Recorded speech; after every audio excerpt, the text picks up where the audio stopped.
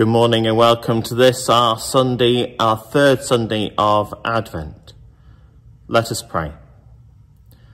God, for whom we wait and watch, you sent John the Baptist to prepare the way of your Son. Give us courage to speak the truth, to hunger for justice, and to suffer for the cause of right. With Jesus Christ our Lord. Amen. Almighty God, give us grace to cast away the works of darkness and to put on the armour of light. Now in the time of this mortal life, in which your Son Jesus Christ came to us in great humility, that on the last day when he shall come again in his glorious majesty to judge the living and the dead, we may rise to the life immortal through him who is alive and reigns with you in the unity of the Holy Spirit, one God, now and forever. Amen. So we join together in the words of our confession. Almighty God, our Heavenly Father, we have sinned against you and against our neighbour in thought, word and deed, through negligence, through weakness, through our own deliberate fault. We are truly sorry and repent of all our sins for the sake of your Son, Jesus Christ, who died for us.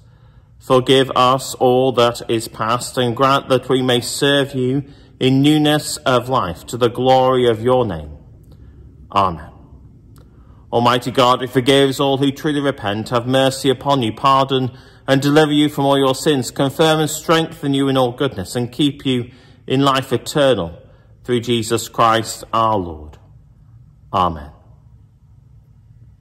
Our reading today is taken from Matthew's Gospel, chapter 11, beginning at verse 2. John, meanwhile, had been locked up in prison. When he got wind of what Jesus was doing, he sent his disciples to ask, Are you the one we've been expecting, or are we still waiting? Jesus told them, Go back and tell John what's going on. The blind see, the lame walk, lepers are cleansed, the deaf hear, the dead are raised, the wretched of the earth learn that God is on their side. Is this what you were expecting? Then count yourselves most blessed. When John's disciples left to report, Jesus started talking to the crowd about John. What did you expect when you went out to see him in the wild? A weekend camper? Hardly. What then? A sheikh in silk pyjamas? Not in the wilderness. Not by a long shot. What then? A prophet. That's right, a prophet. Probably the best prophet you'll ever hear. He is the prophet that Malachi announced when he wrote, I'm sending my prophet ahead of you to make the road smooth for you. It isn't long now, just two whole weeks 14 days, 336 hours, 20,160 minutes. Yes, you really want to know this, don't you? 1,209,600 seconds. Well, by now it's less than that, and, and less minutes as well. But what is Advent all about, this time, this season that we are in? There are some places that are very restricted on Advent being right up until Christmas Eve, and then Christmas coming into its own the day before Christmas Day. However, it is hard to be on the outside of our society when Christmas begins in November, October, maybe for some even in September, and finishes on the 1st of January, when, of course, you can buy your Easter eggs. We should sing carols only from Christmas Eve right up until the 2nd of February.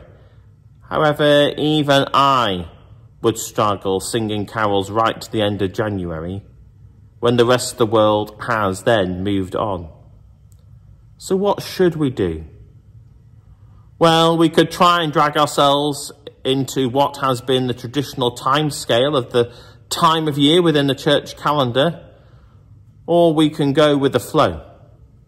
Advent, after all, is about the arrival of a special person. That's the meaning of the word. maybe we could start mid-September, mid-November, I mean, and have six candles. After all, Lent has six Sundays, so why not Advent? At that time, we might get a little more Advent spirit before Christmas celebrations kick in. Sometimes I think, though, that we have very much lost the real reason all this takes place. We argue over decorations going up too soon. The word Christmas for some, mentioned before the beginning of December, is a volatile word. The bigger picture we get here from John, checking out who Jesus was. I wonder how awesome it would have been if the two of them had got together. What a dynamic duo John and Jesus would have been. However, John asks his disciples to report back, and they did with the deeds that Jesus was doing. Go back and tell John what's going on. The blind see, the lame walk, lepers are cleansed, the deaf hear, the dead are raised, the wretched of the earth learn that God is on their side. I think we cling to the traditions to how we have always done that rather than look at the actions of what we are doing and indeed have done. The big picture, after all, is to care for others. Do we really concentrate on how many candles and what do they mean? And are we saying the right prayer on the right Sunday as we light the one that we light? We need to concentrate more on preparing for the arrival of Jesus, the special person who has already come. Advent and Christmas remind us of that. It is to remind us of what we need to be doing all year round. One of my favourite Christmas prayers tells us what the true meaning of the birth of Jesus is and what we need to do to be people of faith. It is written by Howard Thurman.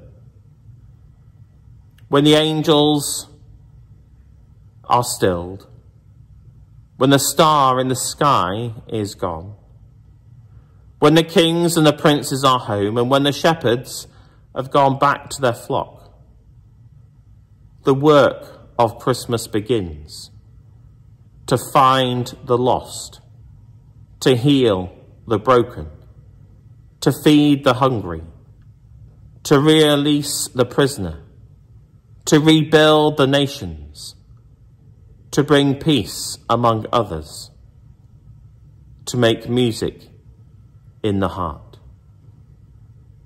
Amen. So let us pray. Make your ways known upon earth, Lord God, your saving power among all peoples. Renew your church in holiness and help us to serve you with joy. Guide the leaders of this and every nation, that justice may prevail throughout the world. Let not the needy be forgotten, nor the hope of the poor be taken away. Lord, make us instruments of your peace. Where there is hatred, let us sow love. Where there is injury, pardon. Where there is doubt, faith. Where there is despair, hope. Where there is darkness, light. And where there is sadness, joy.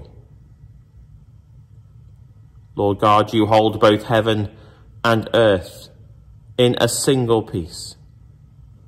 Let the design of your great love shine on the waste of our anger and sorrow and give peace to your church, peace to the nations of our world, and peace in our hearts through Jesus Christ our Lord. Amen. As our Saviour taught us, so we pray together. Our Father, who art in heaven, hallowed be thy name. Thy kingdom come, thy will be done on earth as it is in heaven. Give us this day our daily bread, and forgive us our trespasses, as we forgive those that trespass against us. And lead us not into temptation, but deliver us from evil. For thine is the kingdom, the power, and the glory, for ever and ever. Amen. And the peace of God, which passes all understanding, keep your hearts and minds in the knowledge and love of God, and of his Son, Jesus Christ, our Lord.